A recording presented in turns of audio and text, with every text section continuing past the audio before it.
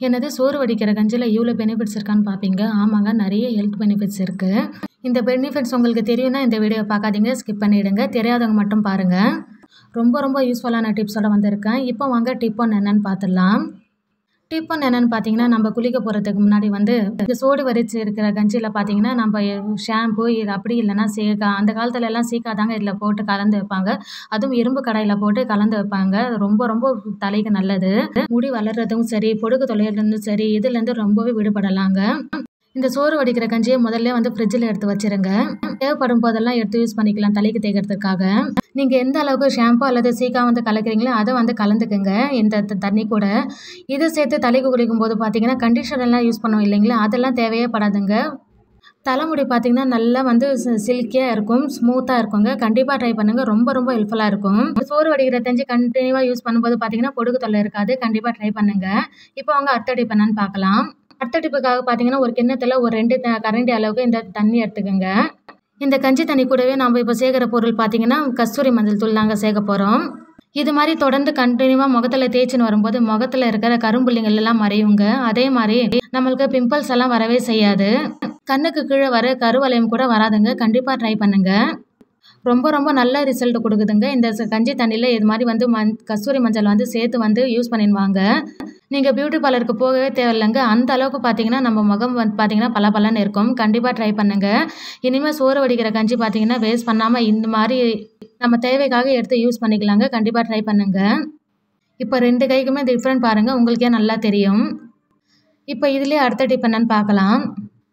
ஒல்லே ஆகணும்னு நினைக்கிறவங்க பார்த்தீங்கன்னா இந்த சோறு வடிக்கிற கஞ்சி வெறும் இந்த ஒரு கிளாஸ் மட்டும் எடுத்துக்கோங்க. நான் இன்னைக்கு சின்ன கிளாஸில் எடுத்திருக்கேன். ஒரு பெரிய கிளாஸ் அளவுக்கு ஒரு கிளாஸ் எடுத்து குடிச்சினே வாங்க. கண்டிப்பாக ஒரு நல்ல ரிசல்ட் கிடைக்கும். இந்த தண்ணி மட்டும் ஒரு டம்ளர் மட்டும் எடுத்துக்கணுங்க. மீதி எந்த ஃபுட்டுமே எடுத்து எடுக்கக்கூடாது. இந்த மாதிரி இருக்கும்போது கணிசமாக பார்த்தீங்கன்னா ஓரளவுக்கு வந்து உடல் எடையை பார்த்தீங்கன்னா குறைக்கலாம். இப்போ குழந்தைங்களுக்கு வயிற்று வலி எல்லாம் வருது இல்லைங்களா? இல்லை வயிற்று சம்மந்தமான பிரச்சனைங்க பார்த்தீங்கன்னா இந்த சோறு வடிக்கிற கஞ்சி சூப்பராக வந்து ஹெல்ப்ஃபுல்லாக இருக்கும். இந்த கஞ்சியை கூட பார்த்தீங்கன்னா ஒரு கால் டேக்கரண்டி அளவுக்கு ஜீரகம் வந்து சேர்த்துக்குங்க. ஜீரக பொடி சேர்த்துக்குங்க. சேர்த்துட்டு பிள்ளைங்க பார்த்தீங்கன்னா வயிறு வலி இருக்கிற சமயத்தில் இந்த மாதிரி கஞ்சி குடிச்சாங்கன்னா உங்களுக்கு வயிறு வலியெல்லாம் எதுவுமே இருக்காது. அதுவும் வயிறு சம்மந்தப்பட்ட எந்த பிரச்சனையும் இருக்காது. கண்டிப்பாக வந்து ட்ரை பண்ணுங்க. இப்போ அவங்க அடுத்த டிப் என்னன்னு பார்க்கலாம் இந்த மாதிரி பாத்திரம் ஒன்று எடுத்துக்கோங்க. இதில் பார்த்தீங்கன்னா கஞ்சி தண்ணி கொஞ்சம் போல் சேர்த்துக்குங்க. இதில் பார்த்தீங்கன்னா நான் இன்றைக்கி காட்டன் துணி தான் சேர்த்துருக்கேன். இப்போல்லாம் பார்த்தீங்கன்னா துணிகளுக்கு கஞ்சி போடுறதுக்கு நிறைய லிக்விட் வருது. அந்த காலத்துலலாம் பார்த்தீங்கன்னா இந்த சோறு வடிக்கிற கஞ்சியில் தான் பார்த்தீங்கன்னா துணிகளுக்கு ஸ்டிஃபாக இருக்கிறதுக்காக யூஸ் பண்ணுவாங்க. இந்த எல்லா டிப்பும் பார்த்தீங்கன்னா அந்த காலத்தில் பாட்டிகளுக்கெல்லாம் நல்லாவே தெரியும்.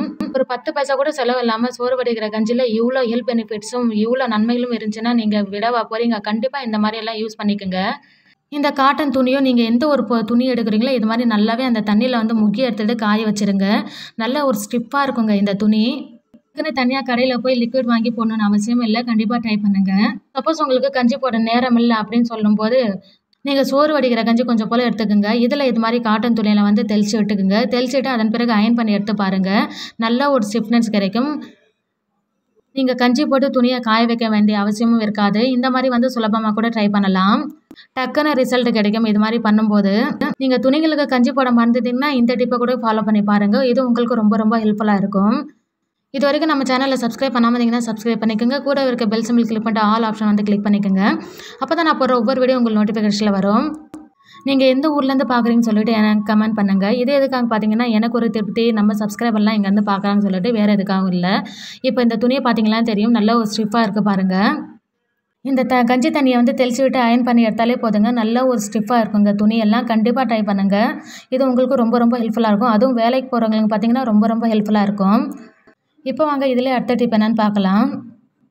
இந்த கஞ்சி தண்ணியை சூடாக குடிக்கும்போது பார்த்தீங்கன்னா வயிற்றில் இருக்கிற உஷ்ணம் எல்லாம் ரொம்பவே குறைக்குங்க. அதுக்கு ரொம்பவே ஹெல்ப்ஃபுல்லாக இருக்கும். இனிமேல் இந்த கஞ்சி தண்ணியை வேணாம்னு சொல்லிட்டு காவால் போடாமல் இந்த மாதிரி ஒரு சின்ன சின்ன விஷயத்துக்கெல்லாம் வந்து நீங்கள் பயன்படுத்திக்கலாம். தலைக்கு ஊற்றுறதா இருந்தால் மட்டும் நீங்கள் ஃப்ரிட்ஜில் எடுத்து ஸ்டோர் பண்ணிக்கோங்க. நான் எனக்கு ஷேர் பண்ணிக்கிற எல்லா டிப்ஸும் உங்களுக்கு பிடிச்சிருக்குன்னு நினைக்கிறேன். பிடிச்சிருந்தா ஒரு லைக் ஒன்று கொடுக்க மறந்துடாதீங்க.